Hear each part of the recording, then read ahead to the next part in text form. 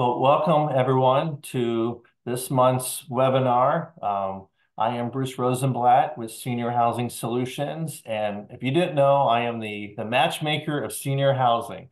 And so I, I do a lot of matchmaking and finding the right senior housing for, for people in this area. I've been doing this for my company is 16 years old, and I've been involved in senior housing for over 30 years. And, and part of what I do is I, I want to be a resource for people. So these types of educational seminars uh, are, are important. But more than that, I, I feel like I have a, a toolbox of people. So when people come to me and they say, Bruce, you know, do you know, you know, someone who's an expertise in something, then I, I have that right person. And, and because of that, um, I, I was getting people coming to me and they were saying, Bruce, you know, do you, you know, I want to stay at home. I'm not ready to move, but I need some extra help at home. You know, it, do you have a home health care, you know, agency that you would recommend? And so I, I spent a lot of time and effort uh, researching and vetting different organizations and agencies and um, have found a, a wonderful partner with Bright Star Care. Uh, they are locally based and, and so um, we have Susan here, who's the vice president of Bright Star, and she's going to tell you a little bit about what they do and how to choose the right agency. So welcome, Susan. It's a pleasure to have you here. Thank you. Thank you so much for having me. So, so Susan, can you talk a little bit about, you know, our partnership and why you all decided to partner with with us? Absolutely. You know, when to go back a few years during the pandemic, a lot of people had started to reach out to us on a variety of resources and different things. And that really got me on a mission that I want to be that resource, that advocate for our clients. And whether they're looking for senior housing or a physician or someone to do modifications in their home, we recognize people were coming to us. I wanted to partner with someone like you because that is a big thing in what we do. Um, we have obviously our current patients that might need to transition to a facility, or we have patients that need transitional care while they're in a community. And as we build our partnerships in the community, I want to choose companies that have people that have those same values and missions that we do. And that was what instantly drew me to you was I do see how much you care for your clients, that you want the best outcome for them, and the time that you put into that. And that really aligned with our mission, our vision, and our values. And I thought together, you know, that would be, you know, a match made in senior, you know, care that would really help our community and take the talents and the resources we have to serve more people and help more people on this aging journey. Well, thank you. And, and I, I feel the same way. So, so Susan, you know, the home health care business is is very competitive. There's something like 150 home health care companies in this area. So can you talk about the differences you know, between, you know, the home health care so people can understand you know, the differences between, you know, an agency and a registry and, and what people should look for when, when selecting a home health care company? Absolutely. So I think there's a variety of things that people should be looking for when they're selecting home care. You have the option of agencies, which is our employees are our employees. We know them, we vet them, we train them, we have a relationship, and we oversee and manage that care. With registries, it's more of a subcontractor connection. So there's not that ongoing oversight um, or relationship. Those are 1099 employees.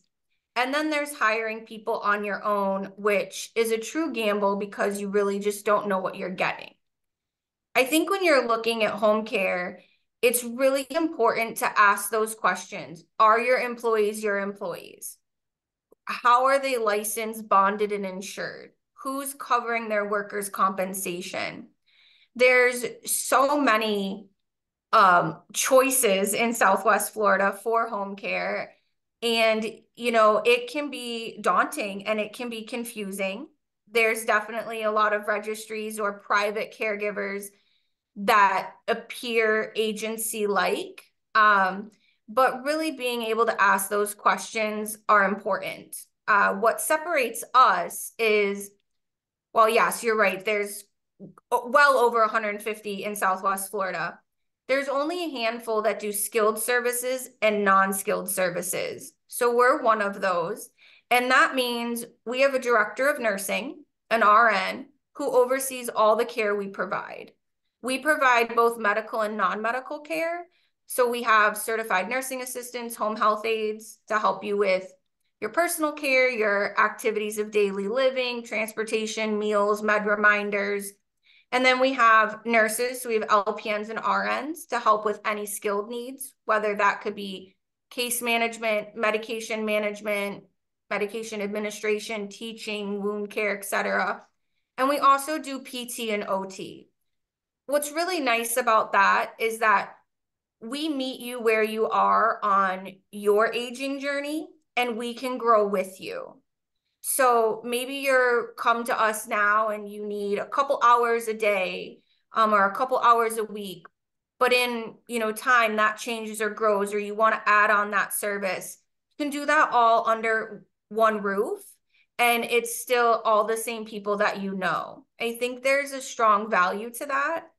And I think having the RN oversight is really important. I'm very passionate about medication management. And I think that when caregivers are reminding clients to take medicine, it's important that we know what is that medication, what is it for, so that we're able to make sure that they're compliant, that we're looking for adverse reactions.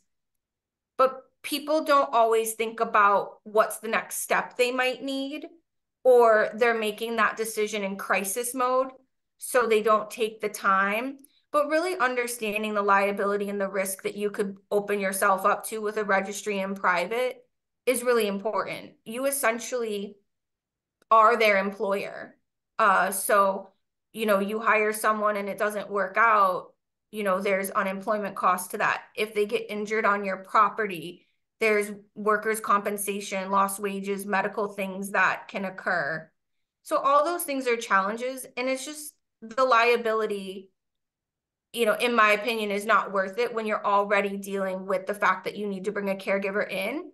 Come choose an agency, choose a professional company that can grow with you, grow on your aging journey, and that's looking out, you know, for all aspects of your situation to make sure you're protected. I was with a family this this week, and uh, they said they have they hired these two women, you know, that they probably met like at Publix or something, and you know that the mom gets along with them, you know, and so they they they thought that that was the right move, and I said, well, you know, things could go south very quickly, and they do. And and I'm sure Susan, you've seen it. I've seen, you know, I've seen changes of wills. I've seen, you know, bad things happen. And like you said, there's just a lot of liability if someone gets hurt in your home. And, and people don't think about things like that. They don't. And I think a lot of it too is like you don't know what you don't know. Um, if you're not working in this industry or you've had a connection to the industry, there's a lot of misconceptions about home care. And so I think by the time it comes that someone's looking for home care, they're probably not thinking about liability or risk to them. What if that person gets you know, injured or injured my parent, or what if that person gets hurt or can't work or whatever. They're thinking about the need that I have. My mom is sick, I need this care. And and I certainly understand that, which is where I encourage people to start thinking about what does their aging journey look like? What are their wishes for senior care? And start to explore and have those conversations at an earlier time so you're not making a decision in a crisis mode you want to be informed. As you get to meet people uh, you want to choose a company that that has the same values as you that has the same vision for your loved one's care uh personalized care. So we we meet you our director of nursing meets you we have a patient ambassador and obviously you know we care about all of the care that you need and the nurse does that assessment and creates that individual plan of care And then we have the patient ambassador part who wants to know you as a person. What makes you you? What do you love? So we can fill that time with purpose. And, you know, the visit isn't just the bathing, the dressing, the toileting, but it's that connection, that companionship, building that trust and building that rapport for you know a, a wonderful experience and then as needs change we can grow and adapt with that and when you bring in a company like that that's looking at the whole picture we're here to educate you. We're here to give you all of the information so that you can make the best informed decision for you or for your loved one. So so that's great information. So let's talk a second about pre-planning because i know you know we're we're on the same page with this about being more proactive versus reactive. And, you know, you don't want to be, you know, opening a phone book and trying to find a home healthcare company or an assisted living facility when you're in this, you know, in this crisis mm-hmm. mode. So if somebody isn't quite ready for home care, but they want to pre-plan, how is how how do you all work with that? Yeah, so there's lots of, you know, opportunities. Um, so we have what we call a living room visit. So if you're interested in learning about BrightStar, our services, we would want to send out one of our community liaisons to meet you in, in your home setting, wherever that may be. If you're in a community, a facility, your single family home, whatnot. And just spend time to get to know you. What what are you looking for? What do you envision the future? And us to give you education and resources to help you as you're thinking through this. Um, I have clients that every year at the beginning of season, they come, they sign up with me, and I have this lovely couple, and she says, I just want to sign up. I don't need you, but God forbid I have a fall or something and my husband needs the care. I want to know that I already know you and you already know us. And so every year, you know, we do that with her. And, and it's it's such a delight. And I love that she's thinking about that for him. Um, and then I have some clients that every year that just call me and say, "Hey, we're here. You know, remember me in case you need me." Um, so, you know, pre-planning is important. It's one of those things where sometimes you can and sometimes you can't. Look, if you come down to visit your loved one at the holidays and you discover just things are off the rails, we're here for you. I'm here for you last minute. I'm here for you if you need me today. That's great. But that's more of those urgent, emergent situations. A majority of the situations out there, people could have the opportunity to pre plan, to think about it. Senior care might not just be that attractive conversation everyone wants to have, but it is the important conversation to have because you don't want to make a decision and you're making it based off of uh, you know a number you got out of the phone book and you're in crisis mode. So pre-planning is important. We'll talk to you about all the services we provide what you're looking for as well as give you additional connections and things in the community. If there's other resources that we think would be helpful we work a lot with the parkinson's association with the alzheimer's association. There's different resources and things there. So if we see like, hey, you could incorporate this into your life now and that might help, we would want to, you know, provide that and make that connection as well. And, and is there a charge for this living room visit? No, there is absolutely no charge for our living room visits. And we are happy. Um, the guys will come out as many times as you need. I've had a couple clients that you know, we come out, they meet with us, and then they want to talk to a couple other people and do their due diligence. I always encourage that. And then they've called us and asked us to come back because they have some additional questions. We're more than happy to come out and chat with you as well as we do um, virtual calls. So I know that we are a seasonal area. Some people are maybe up north or they're decision maker is up north or their adult children. We've done Zoom calls where we've conferenced in all the family or different things. So it's really about whatever works for each situation and you know whatever you need we want to give you that information so you're comfortable making your decision cuz there's really kind of no other personal decision like your senior care. So so speaking of that, you know, I and you know, what we do involves a lot of, you know, relationships and personalities. And so, you know, how how specific can somebody be on who is going to be their their care provider? Yeah. So our patient ambassador spends um, you know, a lot of time with our clients. So depending if you know you're needing if you call today and need to start services today or you're calling today and starting in a week she wants to talk to you get to know you what do you envision for your care um you know i would be completely put off if someone came into my home and started rummaging through my cupboards and all of that that would be very off-putting to me but i have a client who literally called and said to me one time i just want them to come in find out where the trash is, it's in the cupboard and take it out. And I was like, oh my gosh, I would be so off put if someone did that. So it's all those little nuances that we want to learn so that we can find that right connection with the caregiver. Maybe you love a chatty Kathy. Maybe you don't want a chatty Kathy. Maybe you need someone who is going to push you when you say no. And maybe you need someone that, you know, understands, you know, your you know, when you say no, you're tired, give a break and come back in 10 minutes or or whatnot. Um, but we do want to know that we do have guaranteed compatibility.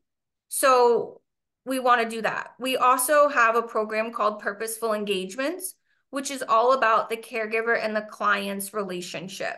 So we have activities, and this is all no additional charge to the client. Tamara, our ambassador, will get to know what they like. Um, and put an activity bag together for them that they could be successful at that would be meaningful to them. Uh, about a year and a half ago, I had a gentleman who went to a memory care and it was very tough. His wife was still at home with their dog. He was in memory. He loved woodworking. But obviously, I was like, how are we going to bring woodworking into a memory unit, right? Well, we ended up finding these wonderful kits that were woodworking, but it was all glue based. So we did this. He made his wife a little jewelry box and painted their dog on it and gave it to her when she visited one day. And then him and the caregivers were painting every day and making little woodworking things. So it's things like that that we want to do to build those relationships. Um, you know, if a caregiver isn't working for any reason, we always want to know that as well. We want to know what wasn't going on so that we can find a better match and that we can also coach that person where needed. But Tamara's really good at spending time with the clients, families, and really digging deep to figure out what would be that right type of match, even down to the food. Great. So, you know, I think when people think about home care, they think it's just care at home. And, you know, and I know, you know, working in senior housing, being involved in senior housing, you know, that that transition from being at home and possibly having a care provider that you have a relationship with and now moving to assisted living or moving to a memory care or even independent living. And so can you talk more about this transitional care program that you all offer? Yeah, absolutely.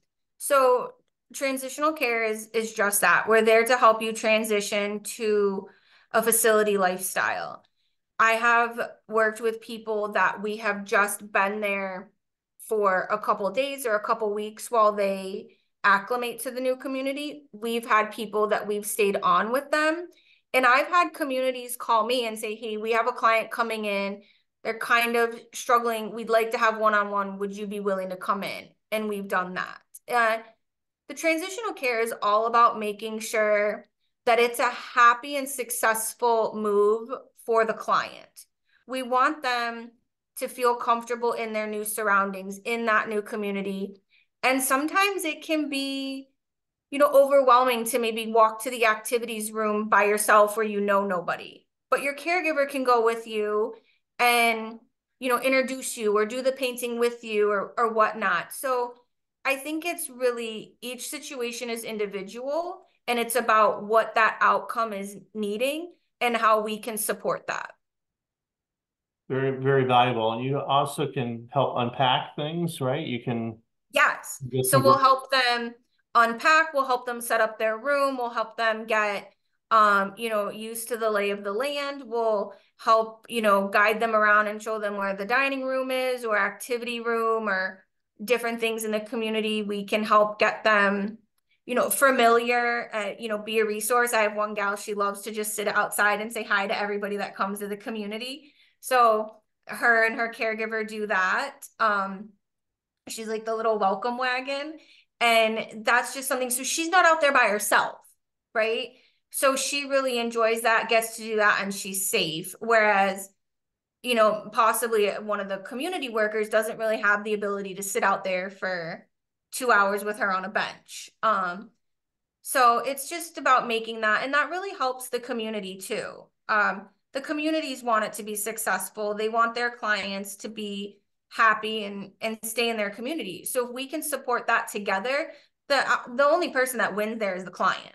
So and that's what matters most and so we work well with the facilities and families to make sure that that is a good transition. And, and, and sometimes, you know, at, at the different assisted livings or memory care, sometimes the care just isn't there enough, you know, because they're yeah. caring for other people and someone has to get to the bathroom at, you know, at three o'clock in the morning and they need to have somebody there to help them. And so having, you know, this transitional care would be really important in that, in that scenario. The best advice I could give someone is be honest with yourself about your loved one. Don't be in denial. If you know that your dad is stubborn and when he presses that button to go to the bathroom, if someone's not there instantly, he's going to try to get up on his own. Then you have to say, if he got up on his own and had a fall, would that be a risk? So should I have a caregiver? If you know that dad is someone that presses the button and will happily wait 20 minutes until someone shows up, great. Another great thing about transitional care is you really should do the diligence yourself and understand what is that facility providing. Those caregivers can be there to tell you, hey, you know, dad pressed the button and the response time was 30 minutes.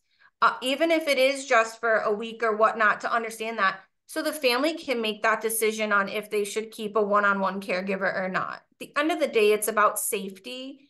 And in a facility, it, there are challenges. You know, it's a certain number of caregivers to a certain number of clients. And you really have to be honest with yourself about your loved one and, you know, what their needs are and where they're at just for their safety. So true. And so I, I know BrightStar is unique in that you don't really have a, an hourly uh, yeah. minimum. And so can you just talk a bit more about all that? Yeah, so we absolutely have no minimum on hours. Uh, so we understand that there, you know, there are clients where the need is just a one hour shower. Uh, and we are here to provide that to you. We provide everything from one hour a day to 24 7 care. Uh, we obviously do skilled nursing. We do skilled nursing visits and skilled nursing shifts, and we do PT and OT. So there's really not anything we can't do in the home setting. And we're there for what it is that you need. Um, sometimes people, you know, money is a, a challenge and they can't afford a ton of care, and a little bit of care is what they can. And we want to be there to support that. And on the flip side, if someone needed 24 7, you all could do that. Yeah, absolutely. Um, we definitely do. It's something I would say that we specialize in. So we have a dedicated person that works all of our 24 7 cases and coordinating them, overseeing them, and making sure that everything that goes into that is, you know, being met. There's a lot of things that can go into that. You know, you could have a client that's living at home alone with 24 7 care and, you know, they have a cat well, we want to make sure the cat is taken care of, or does the cat get the medicine? Uh, our care isn't just about the patient, it's home care and it's all of that. So if they have a dog or a cat, we want to make sure that that's taken care of too, because we know that those relationships are very important. And I've seen people say, oh, the cat's too much for mom, so we're getting rid of it. No, you'll kill mom's spirit. Um, so we want to make sure that, you know, we are taking care of the litter or walking the dog or whatever to keep those things. So home care is it includes the home too. Nice. So um, do you want to add anything else about BrightStar? And... Well, um, so BrightStar, we are a franchise. We're locally owned and operated. We've been here for 18 years. We were the first Bright Star to open in Florida.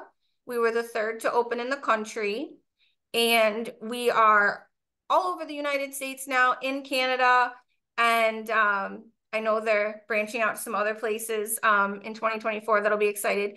It's really nice. We have clients that are seasonal. We have clients that travel, and it's nice that they can seamlessly go between two Bright Stars and get that same higher standard of care. We are also Joint Commission accredited. So that's one of the big differentiators between us. So there's a lot of competitors and everybody does personal care. A few of us do personal and skilled care. And then there's just two of us that are Joint Commission accredited, which really is just our governing body, our oversight. And it really raises the quality and safety of the care we deliver. So I think that's really important. It's the gold standard of care. You see hospitals get Joint Commission accredited. You don't typically see it in the home care world. Bright Star Care as a brand is the only brand nationwide that every single one of our locations is Joint Commission accredited. So it's wow. it's in our blood for the quality and the safety and I think what's most important to me and you know having the opportunity and the blessing to oversee this location is being able to spread more education more advocacy more awareness. The more that we can help people have conversations about aging and do it sooner the better outcomes we can make for them. I wish people would never feel embarrassed or ashamed or in denial about a disease or something that they're battling because so often if you get help you can really make it better and one of the things that i see that can be sad is spouses want to take it all on themselves and there's a lot of challenges and a lot of studies out right now that are saying the spouse caregiver is passing away before the person that they're caregiving of because of the stress. You know, we want to come in and and take that off your plate. It doesn't make you a bad wife or a bad husband. It allows you to be the wife and the husband. You don't have to be the chef, the caregiver, the the laundromat, the chauffeur, the cook, the the errand boy. You can be the husband or the wife and have that and and let us be there in the background to provide the care. And I think when we see that, that's that's really special and a great reminder of what we do. And I think that's what's the most meaningful. So I love being able to have these conversations with people and open up, you know, the box of senior care and let them explore so that they can make the best decision for them and their families so that they're not alone and they're not stressed and they have the support they need. That's awesome. Susan, if someone wanted to reach you or reach Brightstar? How what is how how would they do that? So we're available 24/7 by phone. They can call us at 239-992-4779. Um, our office is located in Naples. We're on Immokalee Road and I-75. Obviously, welcome to come and visit us anytime in person as well. Um, but yeah, give us a call, check us out on our website.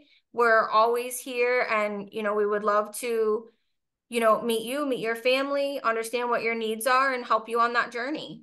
And, and the website is brightstarcare.com. Is that correct? Brightstarcare.com, yes. And then you can enter your zip code and it'll pull you right to the location that's closest to you. So down here, that would be me. And again, your, your, the phone number is 239 992 4779. That's awesome. Well, thank you, Susan. You've been very informative. It's great. Uh, you know, again, I I really appreciate our, our partnership and, you know, I think, you know, it's just, it's just the perfect um, relationship that we all have. So thank you very much. oh, it's truly my pleasure. So just so you all know, uh, next month we, we are featuring uh, Mary Schoenfeld, who is the executive director of the uh, Parkinson's Association for Southwest Florida. So that's January 24th at 2 o'clock. So that should be a good one. Um, Mary is very insightful, and the Parkinson's Association I know is near and dear to Susan's heart. Uh, what you're doing something with Sugar Ray? Can you just talk a second about that? Yeah, so I'm actually the chair for their annual fundraiser lunch. It is March 7th, and we will be having Sugar Ray Leonard come. So we've got quite a lot of exciting things going on for that event. I'm so excited you're having Mary next month. Um, Parkinson's is very near and dear to me. My grandfather had it. My husband's uncle is currently living with it. And I just love that this is a cause here and the money raised here stays here in our community. It's helping people and it's changing their lives. So, you know, if you want to learn more information about that, you can reach out to me. I can get you in the right direction. But yeah, Sugar Ray Leonard's coming. We're very excited and hoping to raise a lot of money for a great organization. I know everyone loves kids and pets, but seniors, we, we got to raise the money for them too because they need it. Awesome. Well, thank you very much, Susan. Thank you all for attending, and we'll see you next month. Thank you. Bye.